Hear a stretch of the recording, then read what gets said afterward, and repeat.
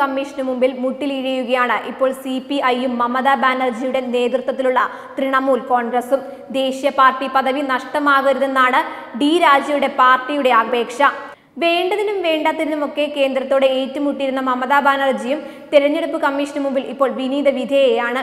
കാര്യങ്ങൾക്കൊക്കെ രാജ്യത്തെ ഏറ്റവും പാരമ്പര്യമുള്ള പാർട്ടിയാണെന്നും അത് കേന്ദ്ര തെരഞ്ഞെടുപ്പ് കമ്മീഷന് പരിഗണിക്കണമെന്നും സി പി ഐയുടെയും തൃണമൂൽ കോൺഗ്രസിന്റെയും അപേക്ഷയിലുണ്ട്. ലോക്സഭാ തെരഞ്ഞെടുപ്പിൽ ഈ പാർട്ടികളുടെ മോശം പ്രകടനത്തിന്റെ പശ്ചാത്തലത്തിൽ പദവി നഷ്ടപ്പെടാതിരിക്കാൻ കാരണം ബോധിപ്പിക്കാൻ ആവശ്യപ്പെട്ട് കമ്മീഷൻ നോട്ടീസ് അയച്ചിരുന്നു. ഇതിന് നൽകിയ മറുപടിയിലാണ് ദേശീയ പാർട്ടി പദവി കളയരുതെന്ന് സി പി ഐയും തൃണമൂൽ കോൺഗ്രസും കേന്ദ്ര തിരഞ്ഞെടുപ്പ് കമ്മീഷനോട് അപേക്ഷിച്ചിട്ടുള്ളത്. കുറഞ്ഞത് നാല് സംസ്ഥാനങ്ങളിൽ ആറ് ശതമാനം വോട്ടോ ലോക്സഭയിൽ രണ്ട് ശതമാനം സീറ്റോ എന്നതാണ് ദേശീയ പാർട്ടി പദവിക്കായി കമ്മീഷൻ നിശ്ചയിച്ചിട്ടുള്ള വ്യവസ്ഥ. ഇല്ലെങ്കിൽ നാല് സംസ്ഥാനങ്ങളിലെങ്കിലും സംസ്ഥാന പാർട്ടി പദവിയിൽ ഉണ്ടായിരിക്കണം.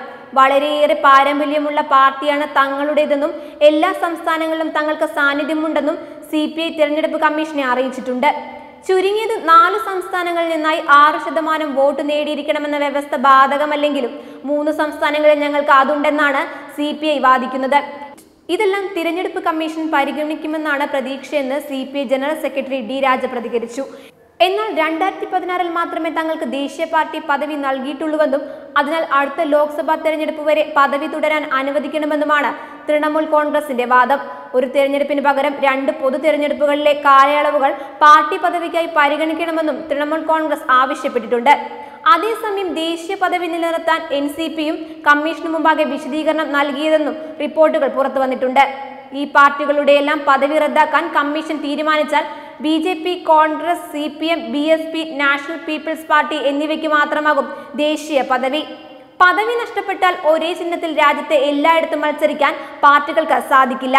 കേരളം തമിഴ്നാട് മണിപ്പൂർ എന്നിവിടങ്ങളിൽ സംസ്ഥാന പാർട്ടി പദവിയിലുള്ള സി പി ഐക്ക് ബംഗാളിലും ത്രിപുരയിലും തിരിച്ചടി നേരിട്ടതാണ് വിനയായത്.